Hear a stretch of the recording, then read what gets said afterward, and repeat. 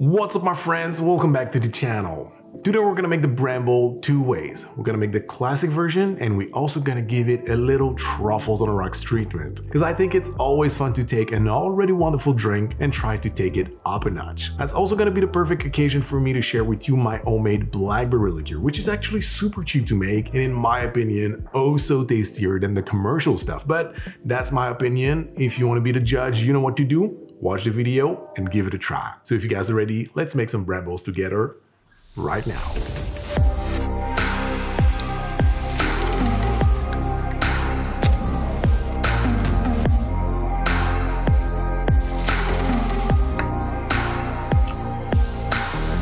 So, the Bramble was created by Dick Bradsell in London in 1984, which makes it a modern classic. Bradsell is also responsible for other modern classics such as the Espresso Martini, so sir, thank you very much for your contribution to mixology. Basically the Bramble is a blackberry gin fix, gin, lemon, sugar, and blackberry liqueur served over crushed ice. In its simplicity, it is just a masterpiece. The flavors work perfectly together, it is beautiful and extremely simple to make. So as I said today we're gonna make the classic version, we're gonna make an elevated version of it, which I think is really fun, and we're gonna make a homemade blackberry liqueur. What I like to do when I make liqueurs is to craft it around the spirit I'm gonna use it with with. In this case, today's video is brought to you by Empress 1908. So I'm gonna make the liquor according to the botanicals in Empress to make all the flavors pop. I'm gonna add two ingredients to it, but if you wanna make a generic blackberry liqueur, simply take out these two ingredients of the equation. Also, the recipe is gonna yield about 1.2 liters of liqueur, so if you wanna make a smaller batch, you simply divide all the ingredients by the same ratio. So we're gonna start with the liqueur. What you're gonna need for the ingredients is first 400 grams of fresh blackberries,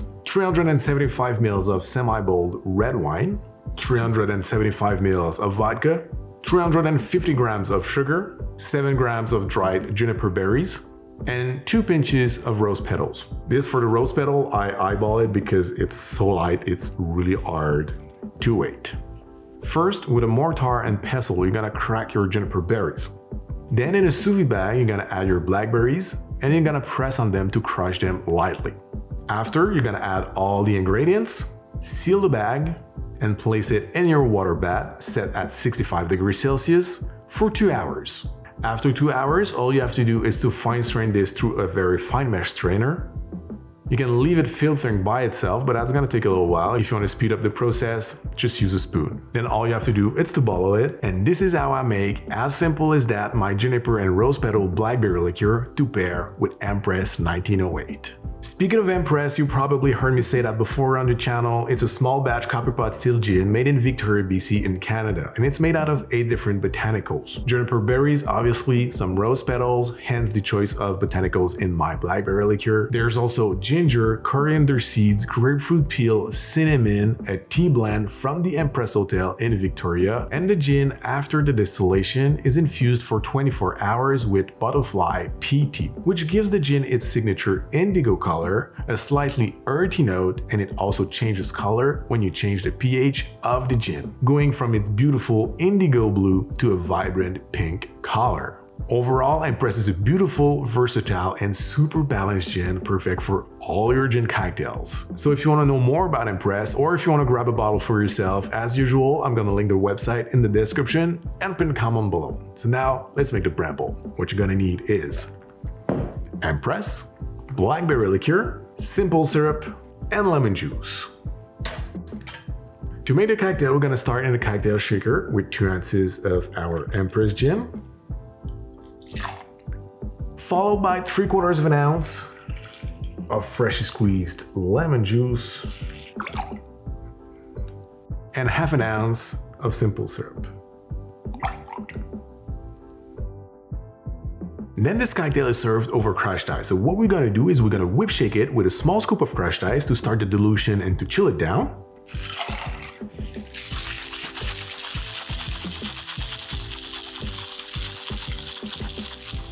We're gonna open pour everything in a double rise glass. We're gonna fill the glass with more crushed ice. And then we're gonna float on top half an ounce of our blackberry liqueur.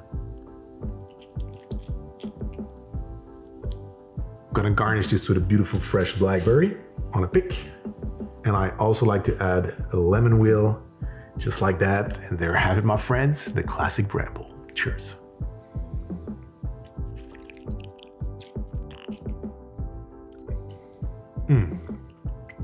This is a wonderful cocktail, extremely refreshing and actually quite dangerous because it goes down really easily. For me, the star of the show in a bramble is the gin. We get up front the beautiful botanicals, but then it's perfectly balanced and rounded up by the acidity, sweetness, and blackberry flavors. It's simply delicious. It tastes like a slush for grown-ups. It's beautiful, super simple to make. So as I said in the intro, in its simplicity, it is a masterpiece because how delicious and simple it is at the same time. So how can we take this and make it even cooler? Well, I had this idea to separate the drink from the float. And to do that, we're gonna need to make a foam, a blackberry foam. So let's do it.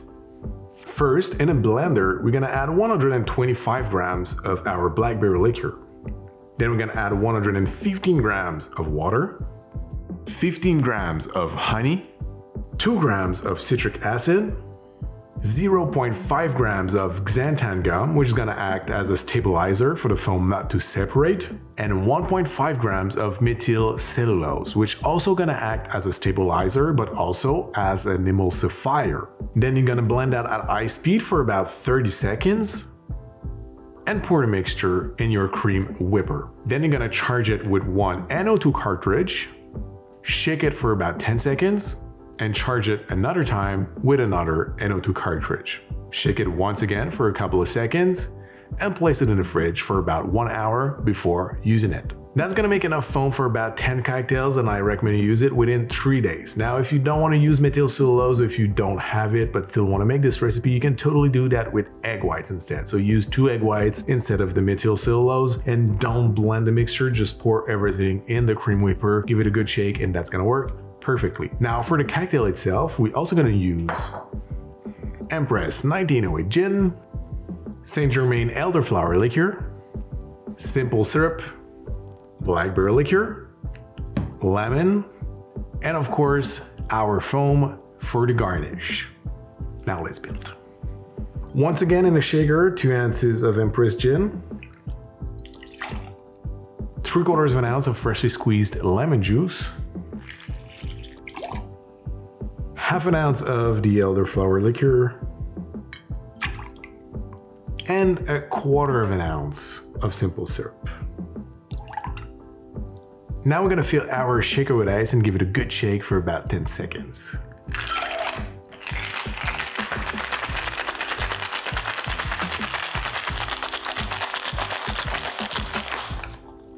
In order to help the foam to stay at the surface of the cocktail rather to sinking down, we're gonna pour the cocktail over a big block of clear ice. Lately, I've been getting a lot of questions from you guys about where I source my clear ice and my crushed ice. I'm simply super lucky. At my local grocery store, I have access to perfect pebble ice bags for one euro, but they're not always available. So when they're not, I simply crush the ice myself with a Lewis bag and a Maillet. So if you want one, I'm gonna link mine in the description below. And for the clear ice I've been using for the past couple of months my countertop clear ice maker, which I love. So once again, I'm gonna link that in the description below. Now let's string that cocktail over that big block of ice.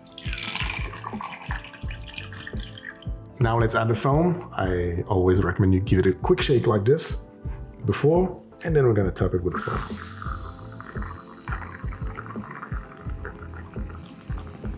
And there have it, the Bramble 2.0. Cheers. That's so good. The elderflower liquor in the cocktail makes the floral notes of the Empress and the rose petals in the blackberry liqueur pop. It works really nicely together. If you don't want to use the rose petals and the juniper berries in your homemade blackberry liqueur, or if you're using a store-bought, still try it with the elderflower liqueur.